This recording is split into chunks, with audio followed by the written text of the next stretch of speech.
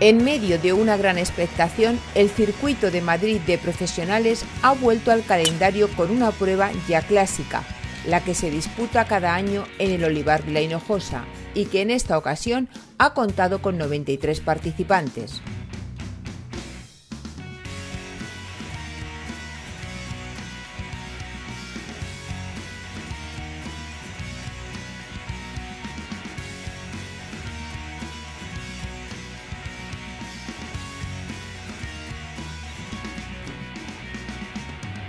Grandes nombres de nuestro golf se contaban entre los participantes. Luna, Salto, Moreno, Garrido, sin olvidar a Pedro Oriol, que tendría como misión defender el título que logrará el año pasado, un objetivo que no logró a pesar de los excelentes resultados de las últimas semanas.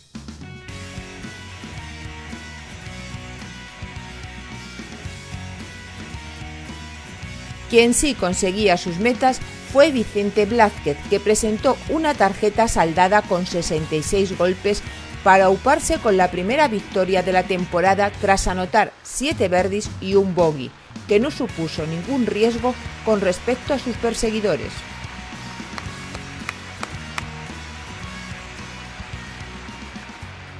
Bueno, Vicente, eh, enhorabuena, ¿no? Vaya forma de comenzar la temporada.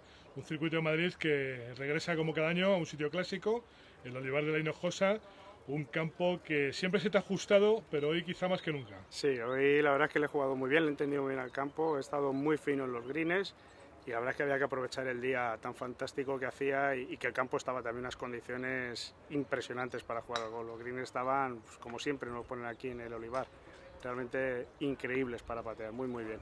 Oye, quizá un invierno muy seco, con mucho viento, los greens muy duros y muy rápidos, ¿no? La verdad es que ha estado muy duro los greens, sí, han estado muy duros y muy rápidos, pero ya te digo, para patear era, es perfecto, o sea, porque la bola no hace ningún extraño, ha ido donde, donde la tirábamos y ha sido una gozada jugar hoy aquí en el Olivar de la. Vicente, el Olivar es un campo que los eh, amateurs no entienden muy bien, la competición profesional, pero es un campo que desde blancas y según con qué banderas... Eh, se cambia mucho y se complica mucho. Es la defensa de este campo, la posición de banderas y los greens como nos los ponen siempre, un poquito duritos. a mí me hace gracia cuando dicen, bueno, vais a reventar el olivar. Eh, mira chicos, muchas veces nos ponen las banderas en sitios que realmente eh, complican muchísimo, sobre todo la estrategia del tiro de salida. ¿no? Por ejemplo, hoy uno siempre nos pone la bandera a la derecha, si querías tirar a cortar, pues luego tenías un tiro imposible. Hoy no lo han puesto a la izquierda, con lo cual era ya más fácil, pero ha habido banderas muy, muy complicadas. Bueno, Vicente sí que ha reventado el Olivar, ¿eh? menos 6, se dice pronto. Sí, sí, la verdad es que ha sido un día muy bueno, siete verdis, un bogey y muy contento por, por la actuación. Oye, yo te voy a preguntar dónde está la clave, porque la clave ha estado en que has jugado de tía green espectacularmente y has rematado encima de los greens. Pero si te voy a preguntar por ti, ¿cómo estás? Porque has tenido una pretemporada difícil, has pasado por el quirófano. Pretemporada no he tenido todavía. o sea, realmente pretemporada no he tenido. Me operé el 23. Me salió una hernia inguinal el 4 de enero, me la operaron el 23 y me dio el alta al médico el 17 de, de, febrero, pero me ha dado un alta entre comillas. He tenido la suerte de que el médico que me ha operado juega al golf entiende mucho lo que es el movimiento este y me dijo que empezara a jugar, pero todavía no me deja hacer pues lo que son abdominales, piernas, todo lo que sea poner de cintura para abajo fuerte no todavía no me deja, con lo cual pretemporada mínima. Sí he estado corriendo, que es lo único que me deja hacer, y, pero, pero poco más. Bueno, casi con los puntos todavía puestos, te vas a Francia, te sacas la tarjeta del circuito francés. ¿Y cómo has planteado el calendario este año? Pues mira, ya lo tengo planteado, es jugar en el circuito francés. En principio, va bien, empezar en, en en París y jugar por allí en Francia lo que, lo que pueda, intentar meter la cabeza en algún, si entro en alguno de los del Challenge y bueno, pues esa, esa es la idea este año.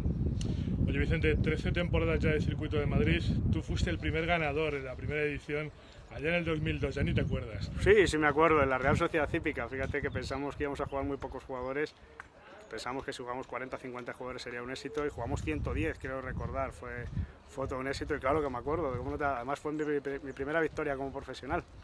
Oye, ¿cómo ha cambiado el circuito, verdad? Ha mejorado muchísimo, la Federación de Madrid la verdad es que lo está haciendo y lo, ha hecho de maravilla para llegar donde estamos ahora mismo y, solo bueno, pues agradecer a la federación y también a, todos los jugadores que, que, componemos este circuito que, que cada día yo creo que lo hacemos más bonito. Vicente, la última, próxima cita el RACE, otro campo que también se te ha dado bien siempre. Sí, vamos al RACE a ver, a ver qué tal se da. Es un campo que me gusta, es un campo donde hay que pegarle a la bola, hay que ir recto. vamos a ver qué tal se nos da.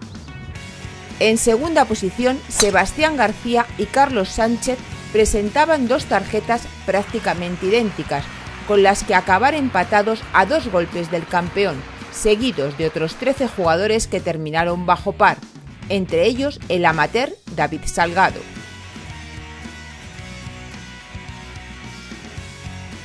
La próxima parada del Tour madrileño será en el RACE, un torneo que servirá para que las féminas regresen a la competición